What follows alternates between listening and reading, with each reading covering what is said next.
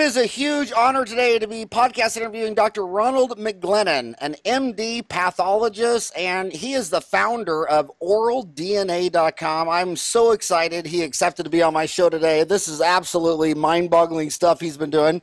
Dr. McGlennen is president and medical director of Access Genetics and Oral DNA Labs. He has published more than 75 articles and book chapters and has served as the editor of five journals. He holds nine issued patents. He is board certified in anatomic and clinical pathology and also by the American Board of Medical Genetics with a specialty in clinical molecular genetics. He is internationally recognized as an expert in molecular biology and genetics. His focus in research has been on reducing the complexity of gene based testing, including DNA chip technology and simple analytic instrumentation to better serve the community laboratory. He has served on a series of governmental and regulatory committees focused on the growth of the field of molecular diagnostics. Through his interest in oral DNA labs, he hopes to bring the power of the clinical lab to the forward reaching dental practice. This is like Star Wars stuff, isn't it? it?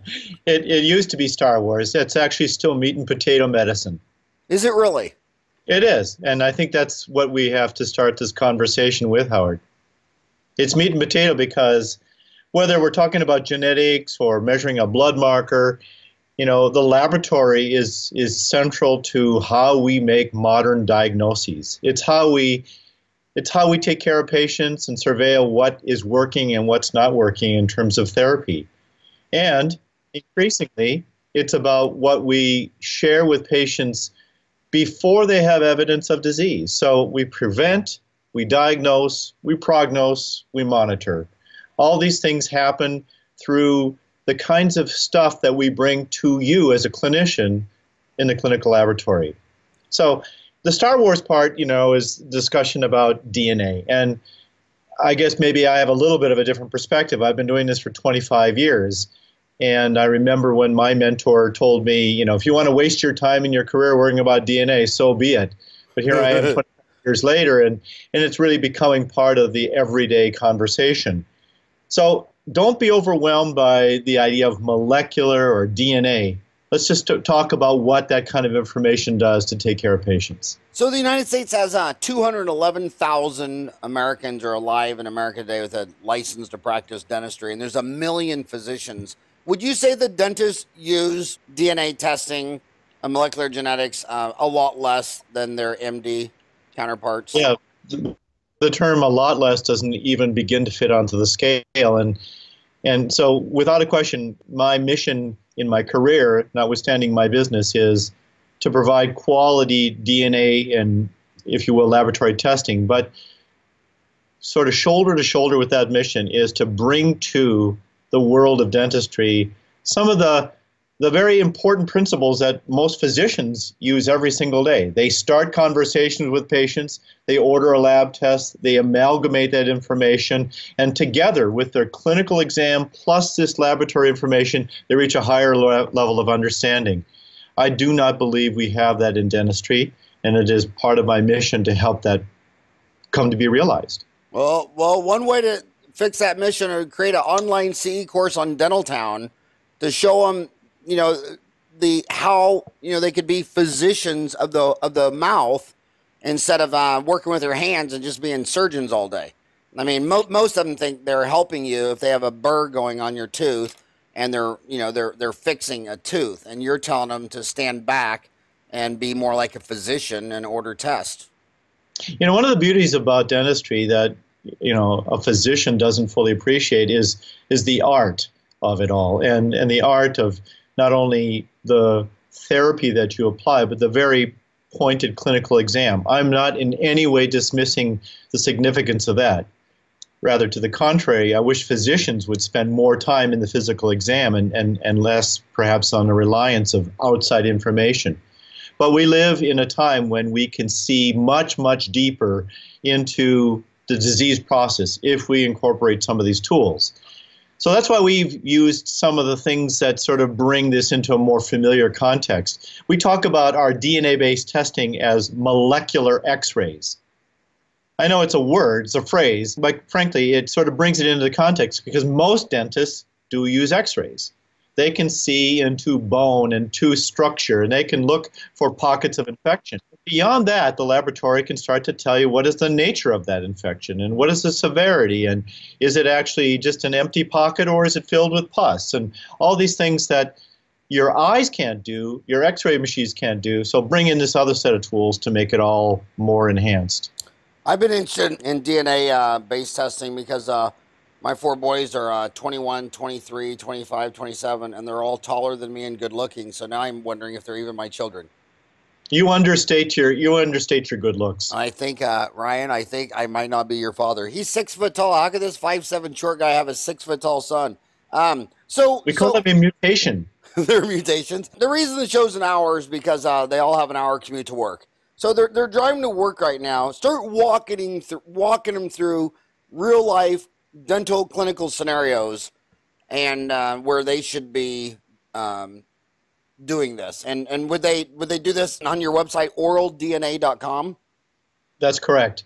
So on our website oraldna.com there is an opportunity to then log into our secured portal which is where we communicate back and forth laboratory results.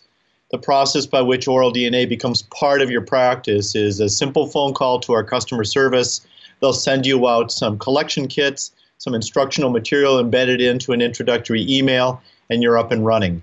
Okay, so is, this, is this just all all saliva, or is there blood? Any what what fluids are you testing? Right now, it's saliva, and I guess to be more specific, it's saliva with some salt water. So we call it an oral rinse. So let's start there. Let's start there. We collect a sample of saliva admixed with five milliliters of, of saline. So what does that tell us? Well, in that collection, if you close your eyes and imagine what it is, don't close your eyes if you're driving to work. you're going to be collecting some of the sloughed epithelial cells.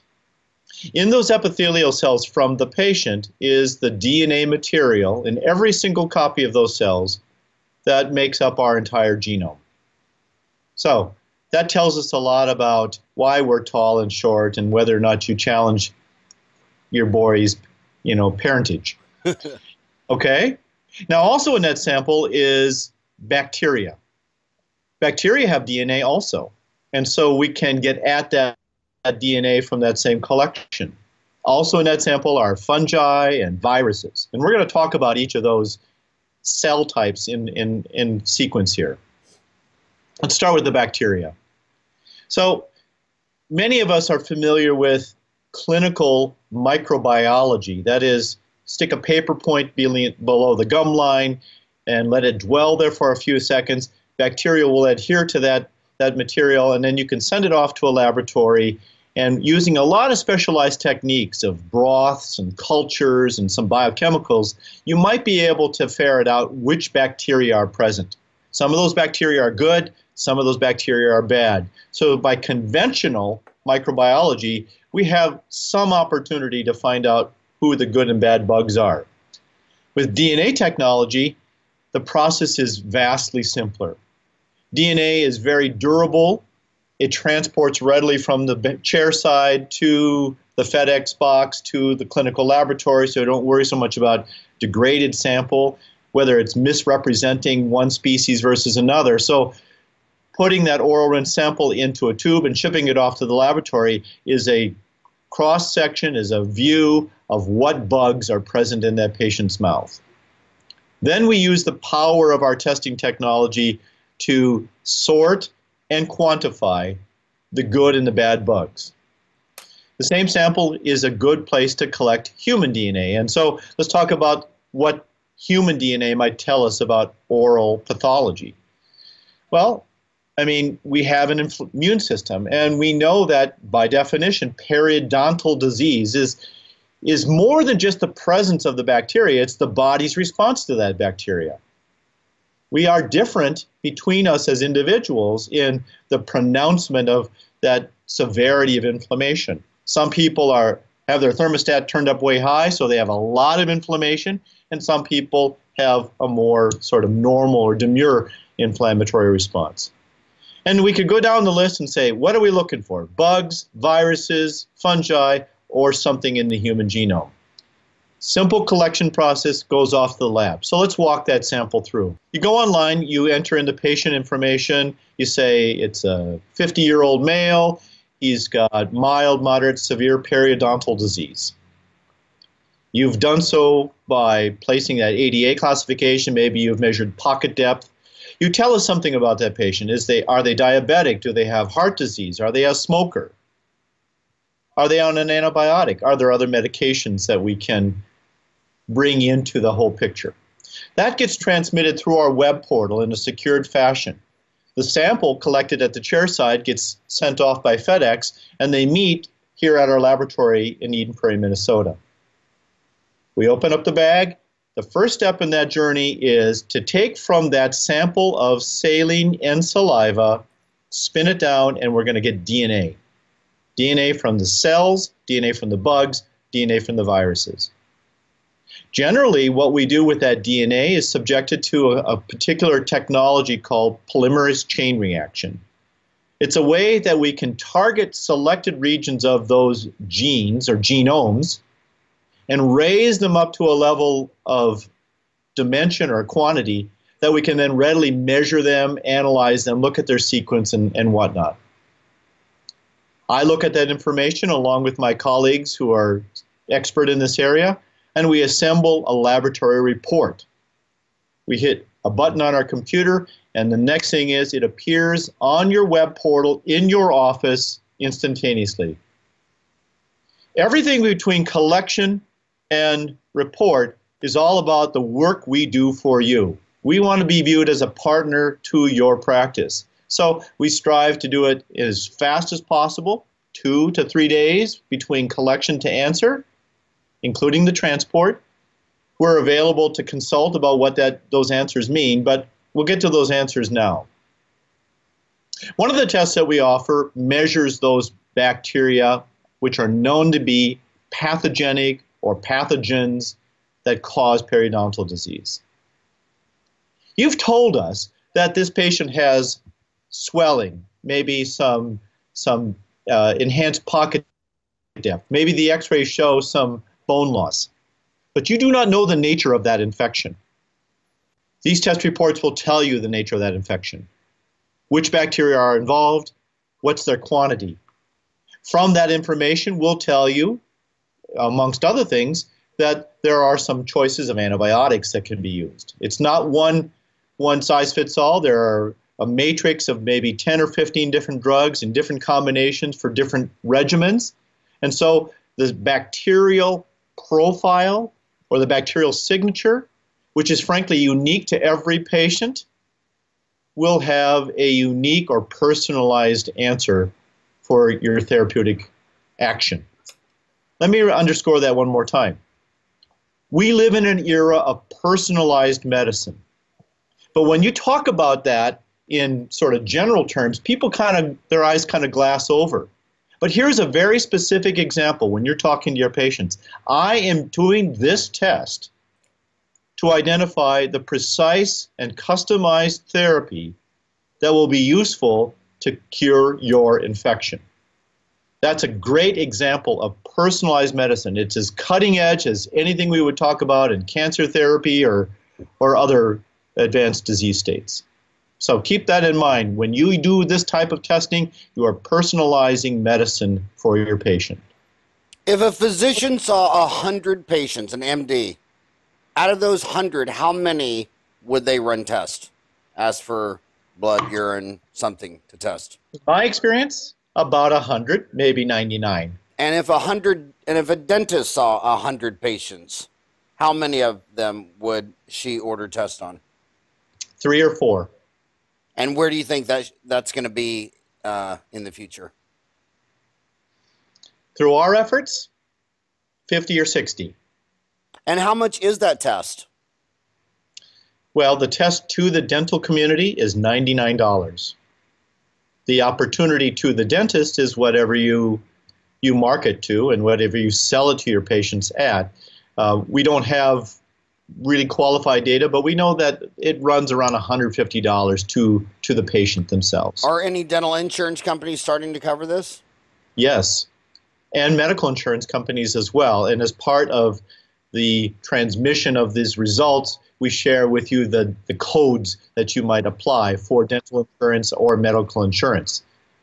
Since our business relationship with all of the, the dental community is, is through credit card or cash, you know that transaction with insurance is is your is your advantage.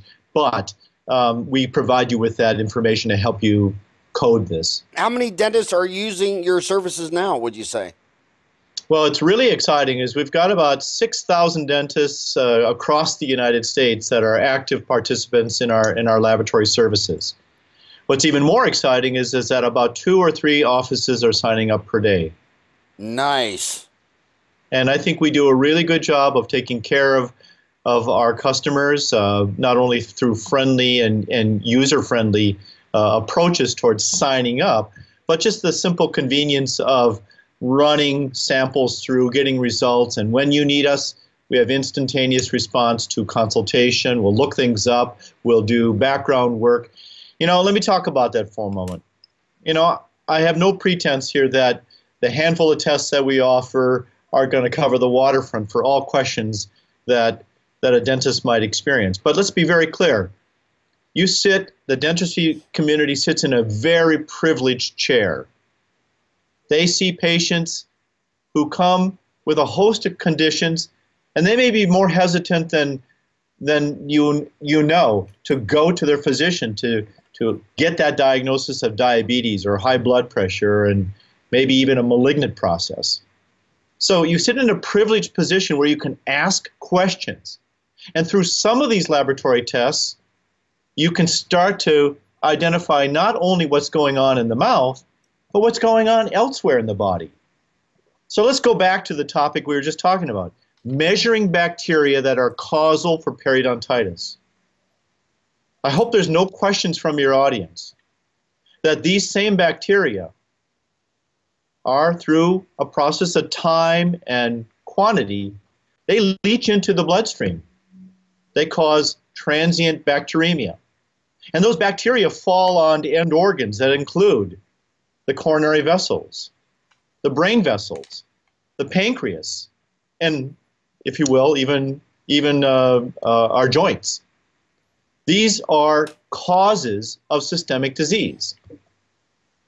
And so there's much to be talked about in terms of the role that these oral bacteria play in the initiation and the progression of atherosclerosis, of type 2 diabetes, of the various arthritides.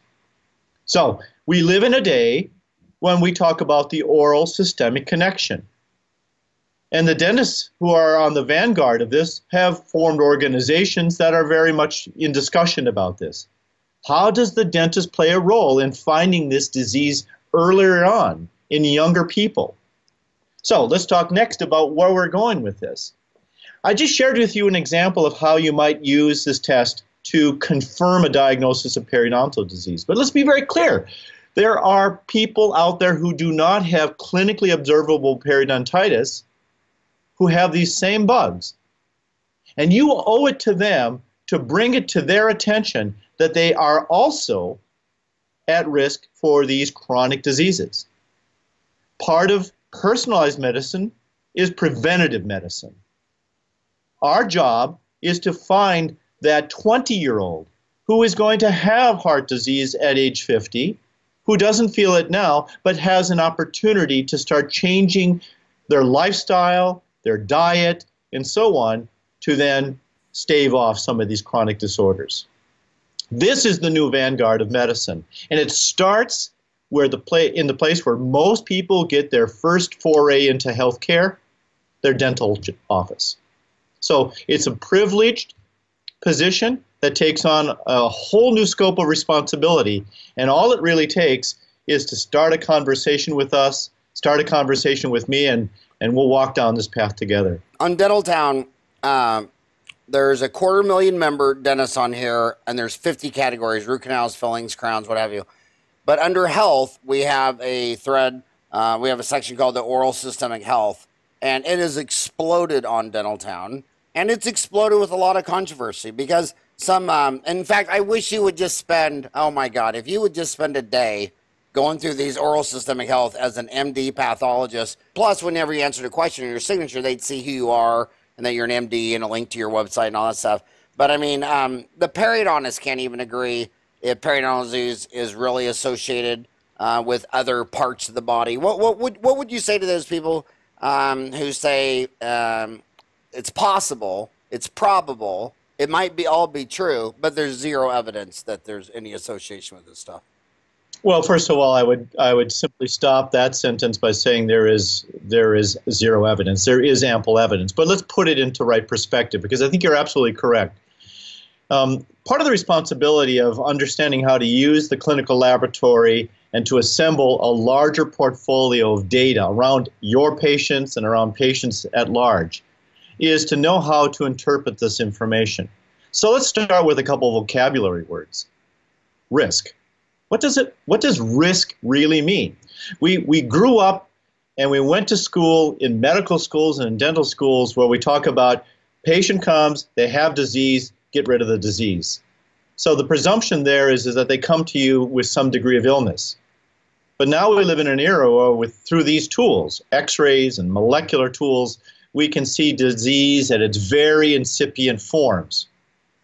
And sometimes the progression from the initiation to clinically you know, symptomatic disease may be measured in decades. So does that mean we just dismiss the conversation because it's not going to affect us between now and when they come back? No. We have an opportunity and a responsibility to do it. So, talking about risk, I urge all of our listeners to talk about things like um, um, odds ratios and and Wilcox test. You have to become familiar with those terms so that when you talk about them with your patients, they come out coherently. Risk means risk. You have to think of the world in terms of large populations and how that plays out through individuals. And through that vantage is how you communicate to patients. So let me give you a scenario. What do you say to a 25 year old who smokes a half a pack a day and you were to measure these bacterial pathogens to find that they have elevated levels of Porphyromonas gingivalis. So, you're not there to tell that guy he's going to have a heart attack in the next year. That's very, very unlikely. But you have to find ways to communicate words like you are at risk. P. gingivalis plus your smoking plus your lipids gives you the full package of your disease likelihood. And you can affect some of those things, and some of those things are harder to affect. Let me give you a more succinct example. Dentistry is very interested in the role they play in oral cancer. H- Finding it. You put your finger in their mouth, you run around, you feel for lumps and bumps, right? Did that bump change over three months, six months, etc.? Now we have a test that identifies the virus that is identified in 65 to 70% of oral cancers. I'm going to use a, a, phrasing here which is sort of common to my, my personality, which is in the old days, 50s and 60s perhaps, laryngeal cancer, uh, oral cancers were old man smoking drinking disease, right? You smoke too much, you drink too much, and if you get old enough, you might get one of these oral cancers. That equation has changed. Oral cancer is a disease of the third and fourth decade of life. It affects men and women, and the cause of that is an infectious process. That infectious process starts somewhere, and in some people it goes nowhere, no, nowhere clinically important, but in some proportion it goes to a very bad place. How will you know unless you test? How will you know? And then when you have that piece of information, a positive HPV test, what does that mean? That patient is at risk. Is it a huge risk? No. You need to have some perspective on that, and I can provide that. The literature will certainly share that. But you have done that patient a great service by telling them that you should not have multiple sex partners or you should surveil that infection until it goes away. And because you have it, means that you might need at some point some more sort of deliberate investigation of lumps and bumps in your mouth. It's that simple. We're not saying change your life totally, but we're saying we've got a piece of information we can judiciously use it to manage your care long term. Risk is central to that conversation. What I don't understand about dentists is that if when women went to their uh, OBGYN or uh, their doctor and they stopped doing cancer screenings for uh, their parts below the waist, I mean, people would think it, it was crazy.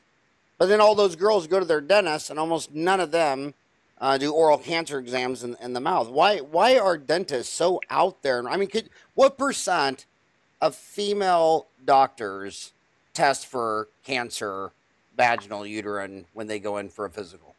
Well, okay, so there's two two parts to that that answer, and uh, so we're talking about the gynecologic community, and the answer is 100% of them are involved in some way in using a Pap smear or HPV, and HPV comes on the scene about 20 years ago and is standard of care.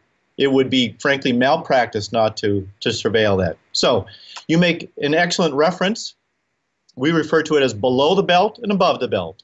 And let's be very clear what happens below the belt also happens above the belt. So there is no reason to not start that conversation.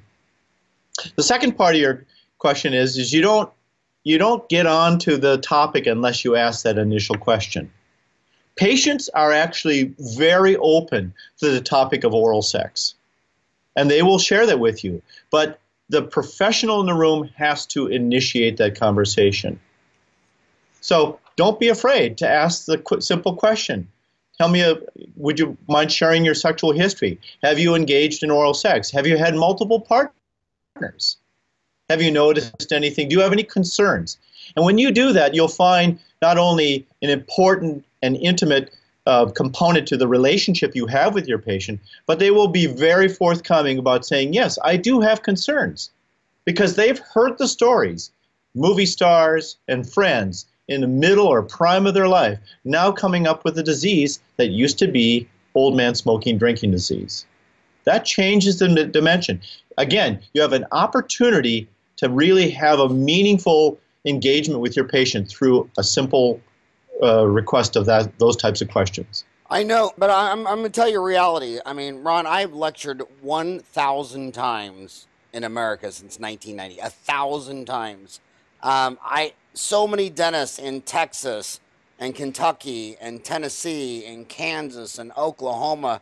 I mean, they're just they'd be mortified. I mean, just that they they probably even never said the word oral sex for. In fact, it's probably hard for them to say oral DNA they're you know they're like oral DNA or uh, so. I mean, how would how, how t- talk to those guys? You have a professional responsibility to enhance health, whatever your focus is. I mean, that's that's sort of the altruistic side of it.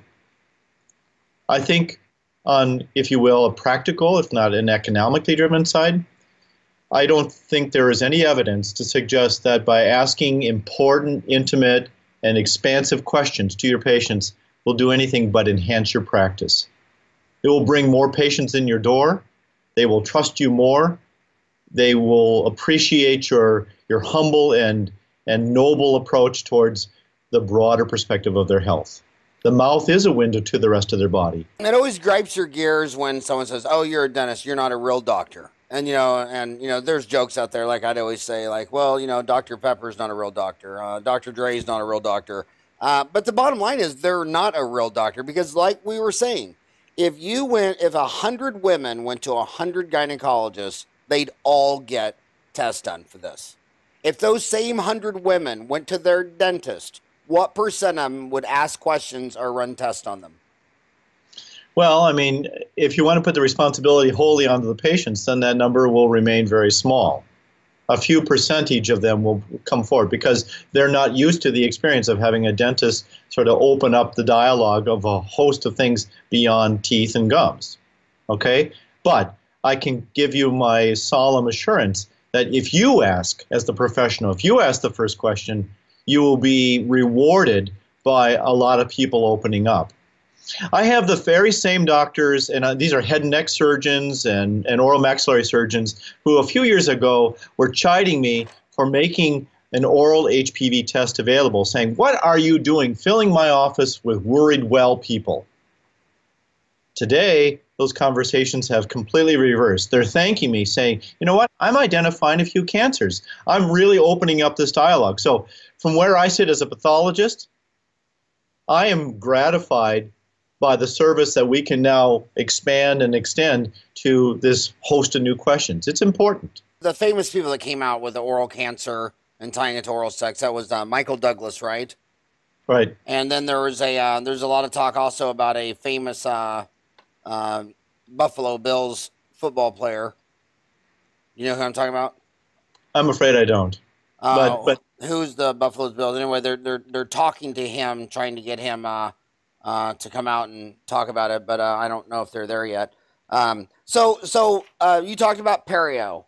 Uh, you talked about HPV, uh, and I I've been ranting for years that I think it's insane when about 8,000 to 30,000 people die of the flu each year. And you look at those people and say, what was their last point of entry to the healthcare system?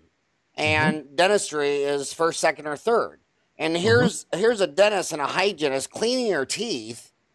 And I mean, what's the chance she's going to die from not getting her teeth cleaned next six months? Why don't you give them a flu shot? But in the state, but in every state except one, except for Tennessee, uh, you can go to CVS or Walgreens, and a pharmacy tech with nine months of school can give you a flu shot or an HPV vaccine.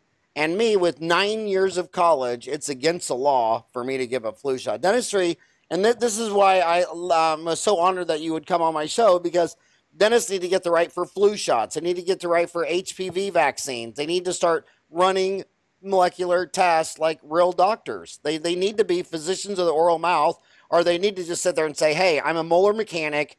I'm not a doctor. I'm a I'm a tooth mechanic." And if you have any doctor questions, you're going to need to see a real doctor. I mean, they, they need to differentiate themselves. Are they going to be mechanics? Are they just going to be tooth jockeys? Are they going to be doctors?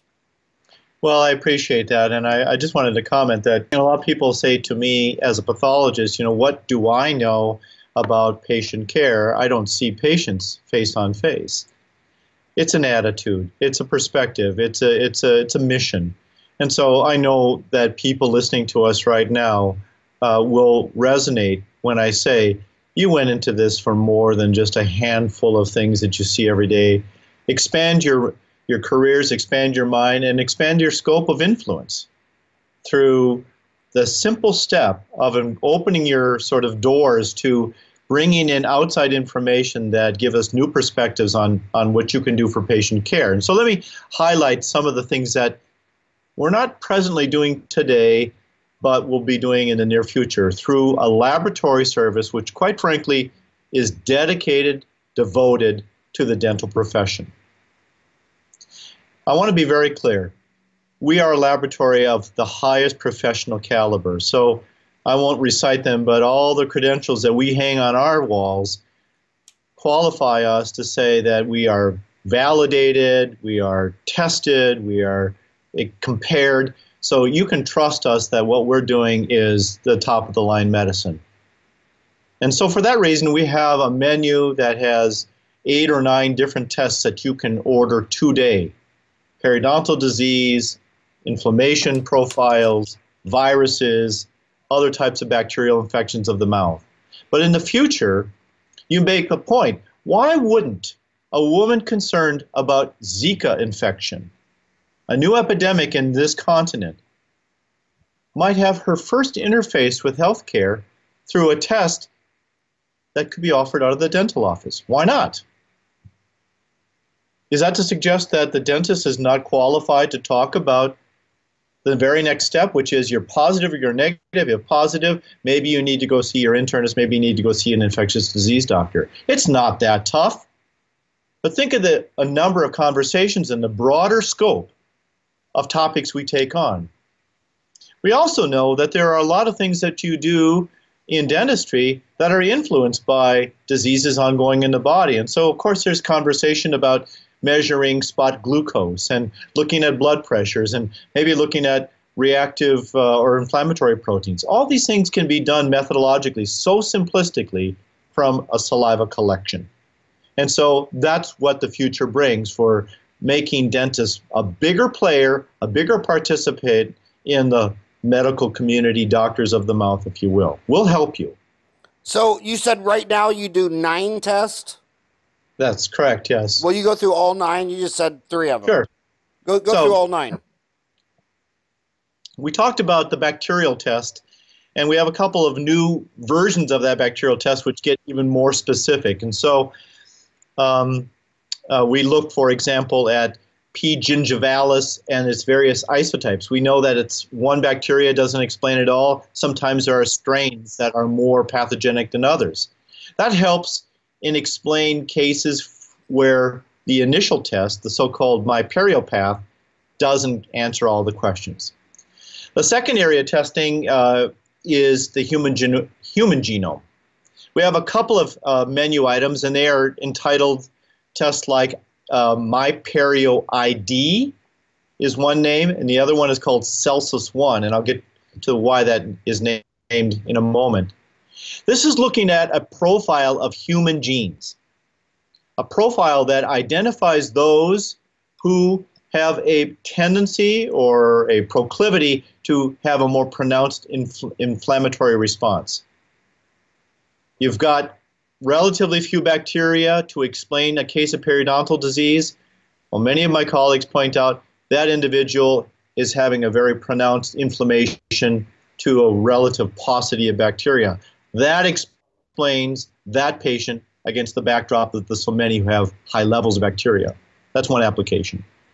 So Celsus 1 and MyPerio ID. Why do we call it Celsus 1? I'll tell you why. I know why. It- it's please. You looked it up, didn't you? No. No, you're in Minnesota, and uh, my oldest sister's in a nut is a in a nunnery in Lake Elmo, and I think it's uh absolute zero is minus 273 degrees Celsius, and that's probably the average temperature there in January. Uh, well, it used to be when I was growing up, but not so much anymore. And we struggle sometimes to get it below freezing. But close. But it's not Celsius, it's Celsus. Okay? Okay. Celsus is from the Roman time. He was uh, an encyclopedist and a physician, and he is the one who coined the Calor Ruber tumor dolor. You know what that is? Uh, tenderness, red swelling, tenderness, pus, or pain. You pass the four cardinal signs of inflammation.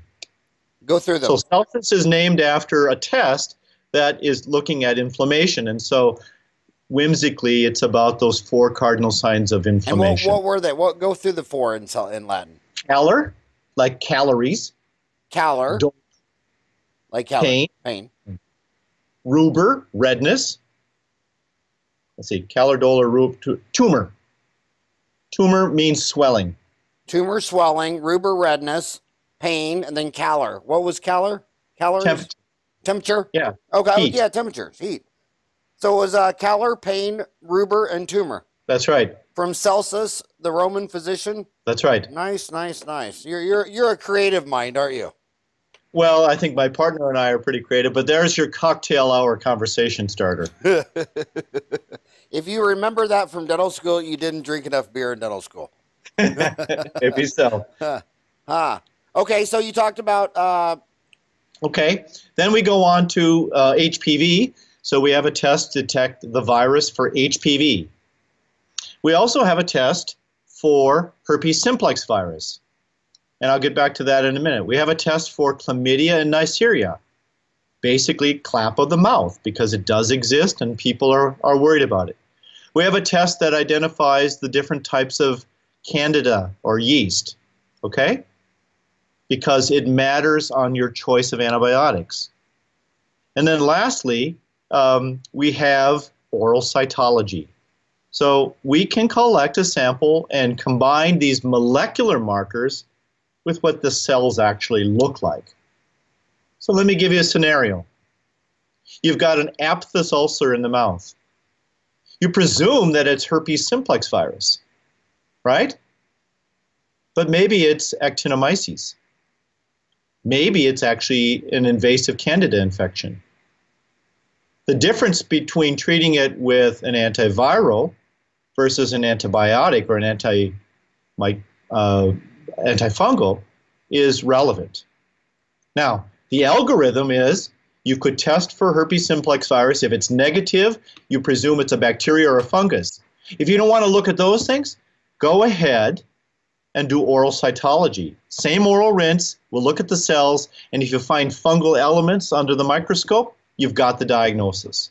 You went from the clinical observation of a, of, of, a sore in the mouth with the presumption that it's viral, but maybe not always, and then you use the laboratory to discern and establish the diagnosis, and now you have no reason to, to treat wrongly.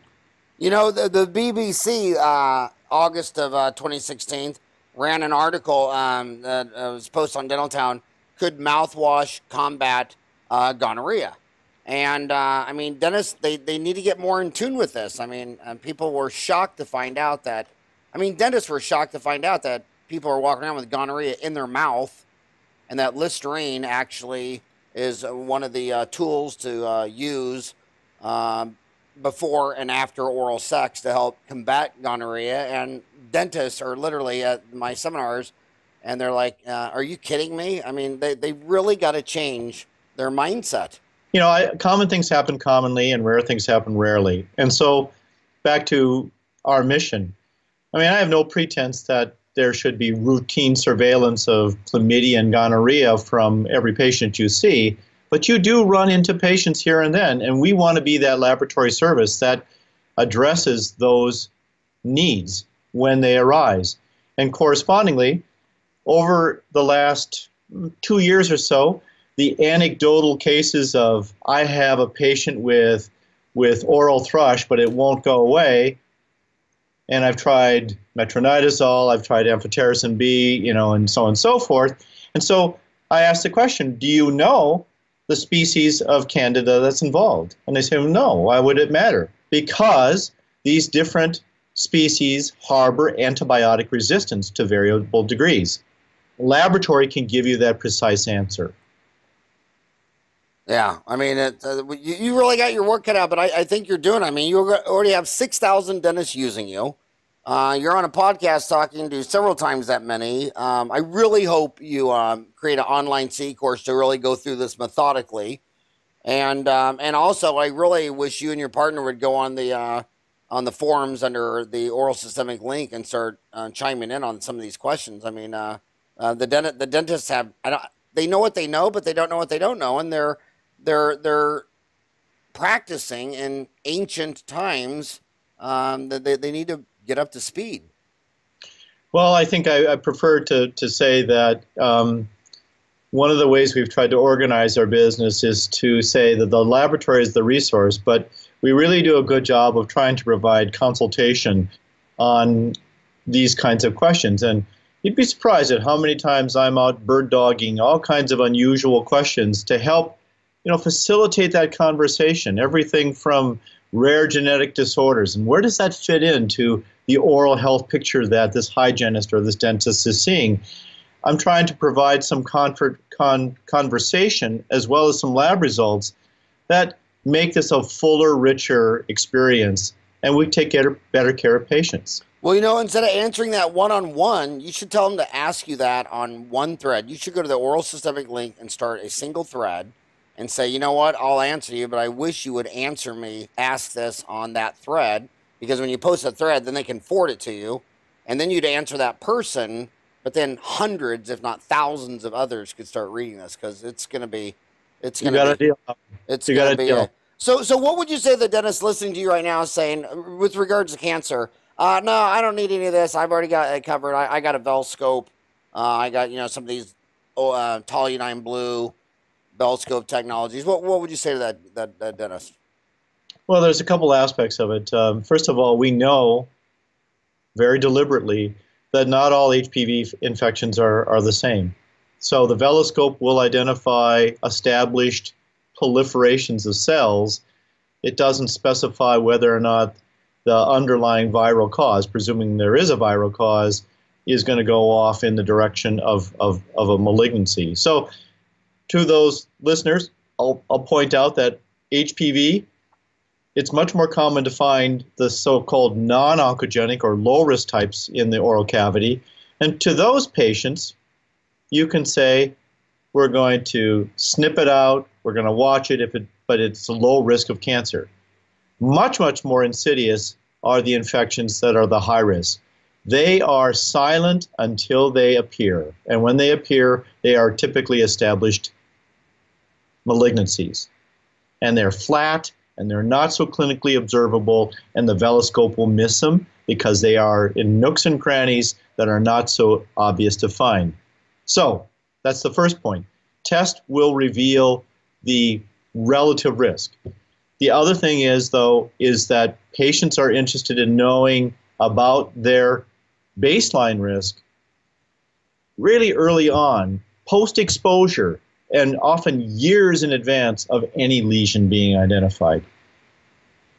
Do them a favor and make this test available to them so that they receive those results with professional counsel that goes with it. When you have two sisters that are nuns, you always think about uh, the religious effect on the, the mind. And everyone knows you transmit diseases below the belt.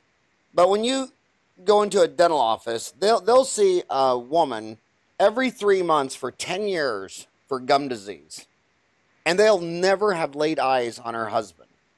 And I'm like, do you not realize that they're kissing in bed? Now, if, if they were seeing him every three months for chlamydia for 10 years, within 10 right. years, the doctor would say, hey, are you sleeping with someone with chlamydia? You know, can we get your husband in here? Uh, you know, I think your husband might be carrying this. But but then you then, and then the a periodontist will look you in the eye and say, well, you you can't uh, transmit periodontal disease in saliva. It's like so you're saying that bug evolved there? What when the, the kid was born? Okay. Periodontal, spontaneous, you know, uh, spontaneous. Uh, yeah. What some hundred million year old evolution took place on this infant's tongue? I mean, where yeah. the hell? I mean, if you saw a giraffe in the backyard, you'd know it came from somewhere. I mean, how the hell could you not think that you know? So these bugs and all kinds of bugs. Why? Why do you? I mean, I, I'm just trying to get the dentist to say no. I can't treat you for an oral disease unless I see who you're trading spit with. So I need you to bring in your husband, your boyfriend, the UPS man, the milkman. I need everybody you're making out with. Uh, you know, you got to you got to treat the village. Well, I think this brings up the sort of the whole larger conversation about appreciating the biology of the oral microbiome. You're right. It doesn't come from outer space. it's part of the environment. Sometime after we emerge from the womb, we acquire our own oral microbiome.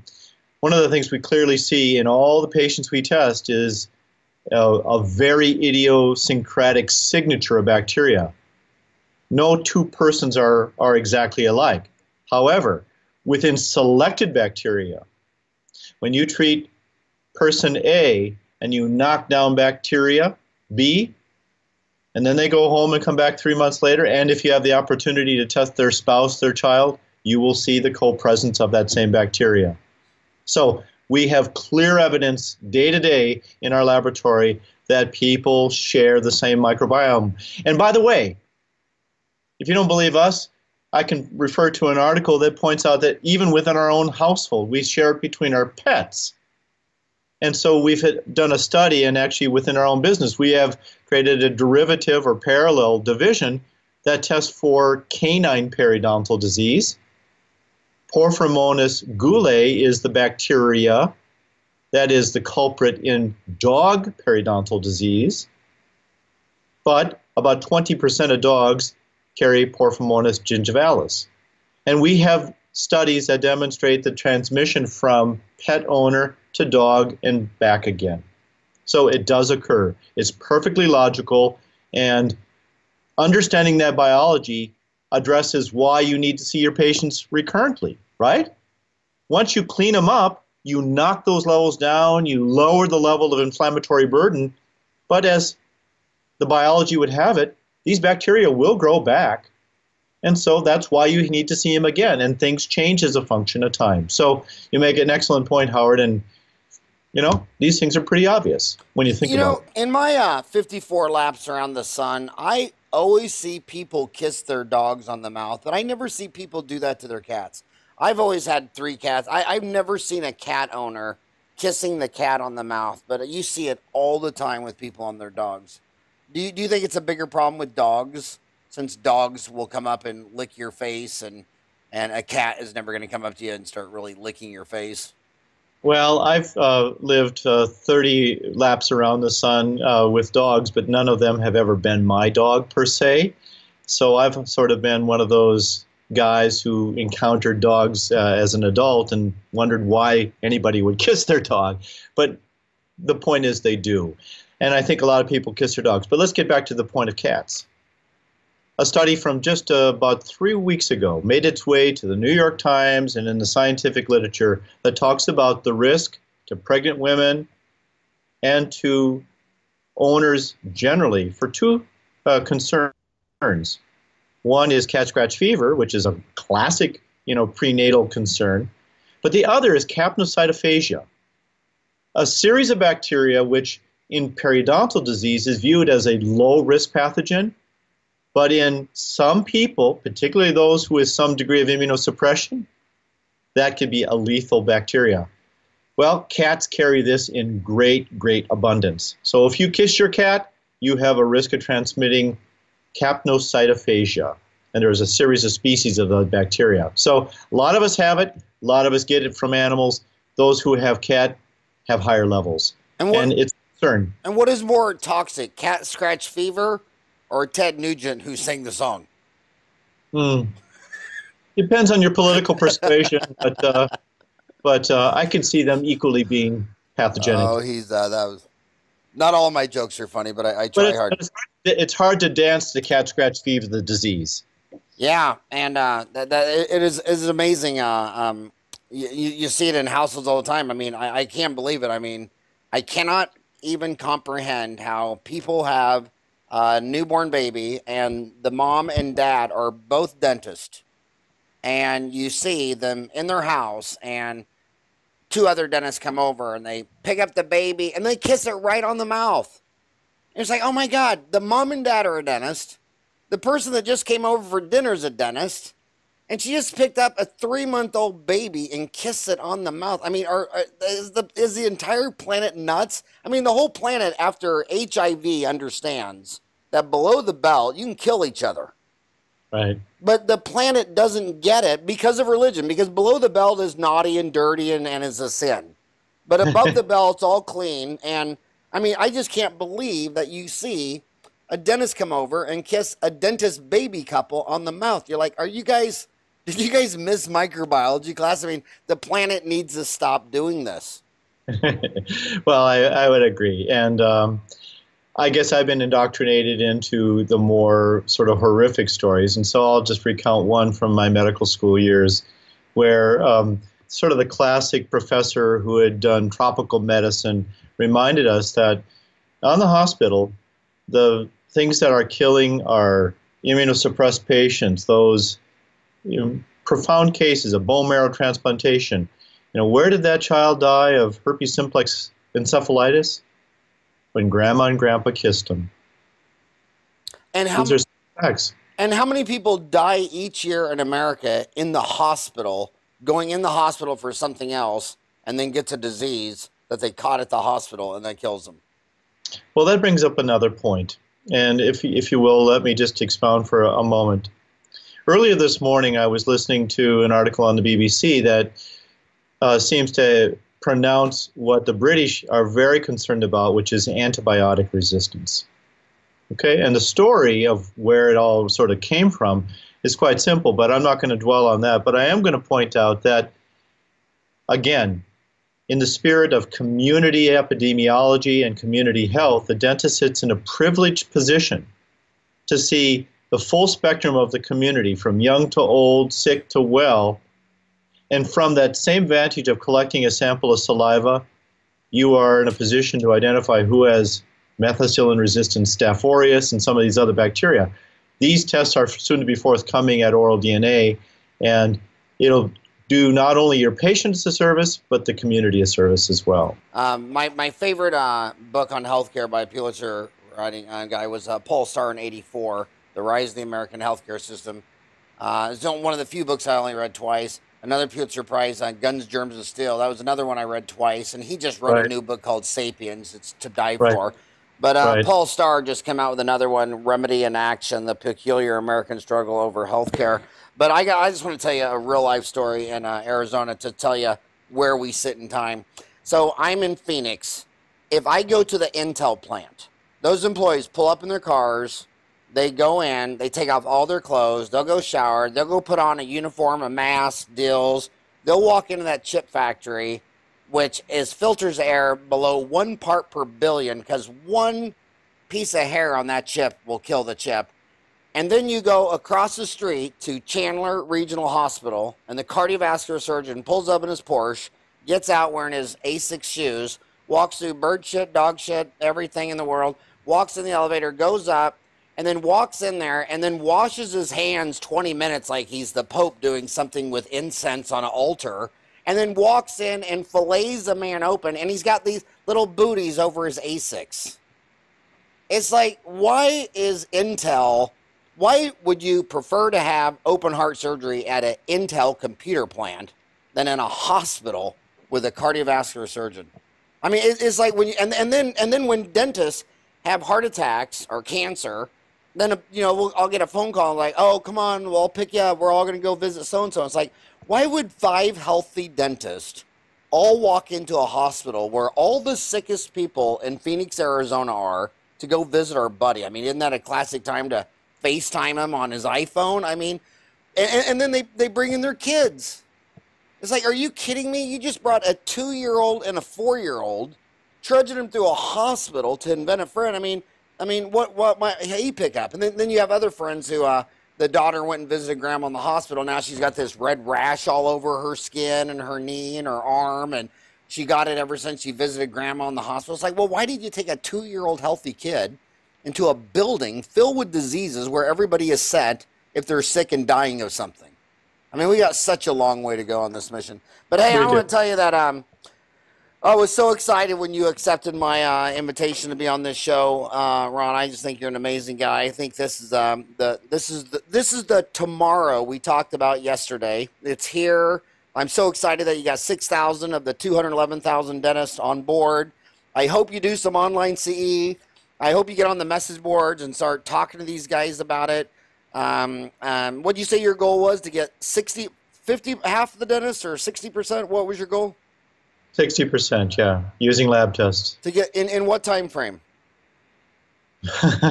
My goodness, it gets shorter all the time. Let's say let's let's say five years. Okay, well, I'll, I'll do anything to help. I mean, I want, I want my, uh, I'd love to uh, come in to this uh, profession as a, a, a surgeon who works on molars and leave it as a physician of an oral mouth. I mean, I want to do my part to play on that. I mean, they, they, they need to become real doctors. They need to start. I, you know, I've, I've told dentists, say, we, what if we all just start giving flu shots? I mean, what is the government going to do? Are they going to take away the license of 211,000 dentists? Why, why can't we act like the Teamsters and just say, this is absurd? We're giving flu shots. So Yeah. either either The shut us all down. What's that? consumers are going to demand it. So convenience is the driver here, economically and otherwise, and it's all about service. and that uh, we should put the patient first. So, hey, Yeah. thank you for all that you're doing. Uh, I had a blast, Howard. Thank you very much. You're a great guy. all right, thank you so much. Have a rock. Oh, last question. Are you just loving that 5 and 0 Vikings and that new billion dollar stadium? I mean, are you just grinning ear to ear every morning when you I wake am- up? I am I'm an emerging Viking fan. Uh, the last time I was woken from that slumber was in the 70s. well, I'm very jealous of your new stadium and your 5 and 0 record. So, congratulations to all you Viking fans. Thank you very much. I enjoyed it.